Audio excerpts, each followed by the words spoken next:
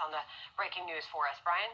Sandra, yeah, we have new video out of the Russian parliament, which has voted unanimously 401 to 0 to enact a brand new law that makes it punishable by up to 3 to 15 years in prison for spreading any fake information about the military war that is happening in Ukraine. This is a major step forward for major escalation by Russian authorities there and Vladimir Putin to go after uh, dissent there in the country. At the same time, Reuters is now reporting, Sandra, that Russia has blocked Facebook inside of Russia. This is coming from Russia's communications agency, which says they have cited 26 cases of what they call discrimination against Russian media and information resources by Facebook since October of 2020. Again, this also comes at the same time that we have seen the top independent radio station and top independent television station in Russia have ceased operations after receiving a slew of threats from Russian authorities. So, at you know, we've been talking about whether or not the pressure within Russia would be enough to force Putin's hand here, but he is clamping down on dissension in that country, going after independent media, now blocking Facebook, and now making it punishable by up to 15 years in prison for anyone who spreads what they deem as fake information of this war, which they call in Russia a special military operation. How does this end? Somebody in Russia has to step up to the plate is there Brutus in Russia? Is there a more successful Colonel Stauffenberg in the Russian military? The only way this ends, my friend, is for somebody in Russia to take this guy out. You would be doing your country a great service and the world a great service. Uh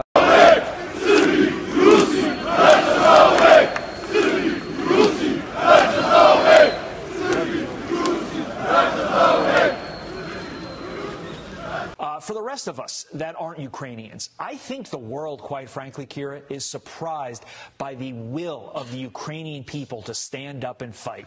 Are you? Well, I'm not surprised. I, uh, we have been fighting uh, Putin for the last eight years, and we had three revolutions in our country when we did not agree with what was going on with uh, the direction of where we're moving in. But right now, it's a critical time because we know that we not only fight for Ukraine, we fight for this new world order.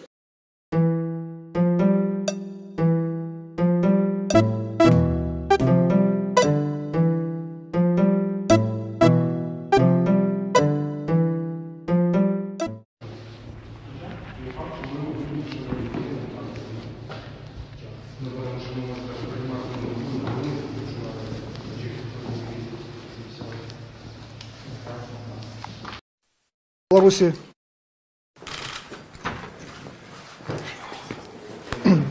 Уважаемые друзья, президент Беларуси просил встретить вас, приветствовать и обеспечить максимально вашу работу.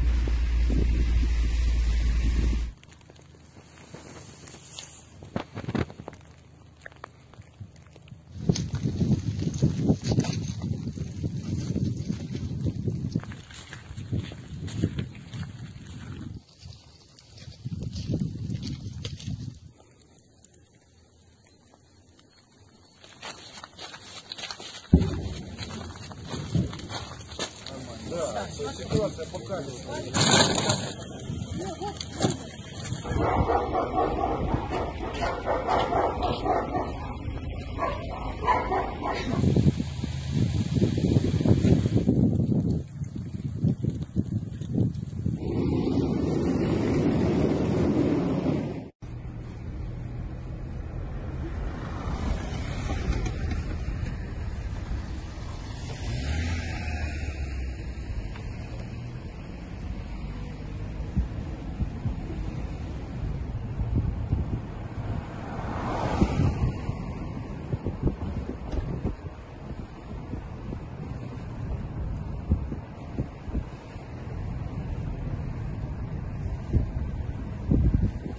So we are looking at ways to, um, and I said yesterday, I believe, that we are looking at ways to reduce uh, the import of Russian oil while also making sure um, that we are maintaining the global supply needs out there. Uh, I don't have anything to predict in terms of what that will look like.